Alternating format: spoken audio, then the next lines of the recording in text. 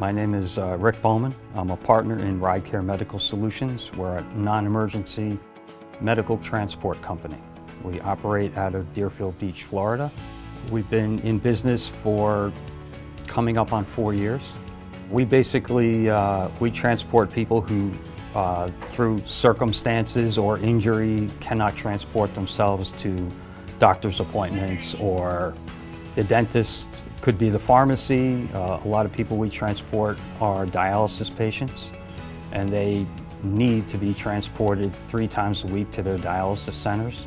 We have wheelchair and stretcher capable vehicles.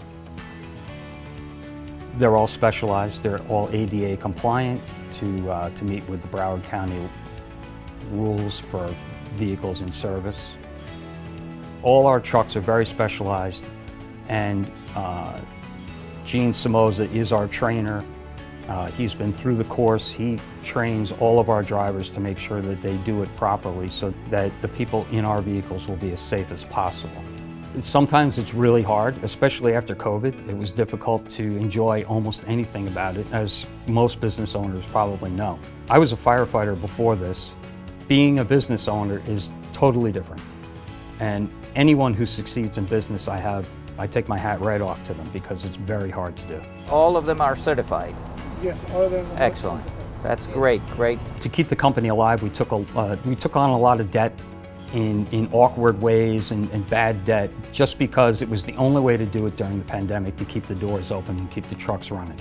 The pandemic was really slamming us and we had no money. We were in a lot of trouble. And uh, in corresponding with Gigi and speaking with her, you know, one day she called and say, hey, you know, you, I got you a grant, you know, and it was, you know, it was like, you know, it was an amazing thing. It, it was a lifesaver for the company.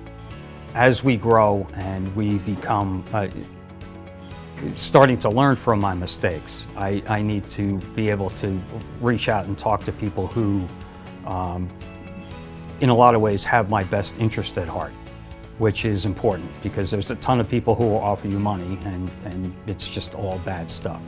So for me, speaking with uh, people that I have represent Florida and, and, uh, and the city of Deerfield, there are people that I'm going to be more trusting of their advice.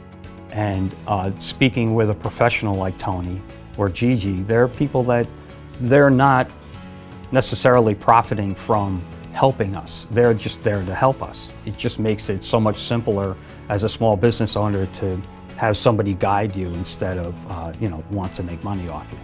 To believe them and trust them that, you know, we will get help and it, it'll be the right kind.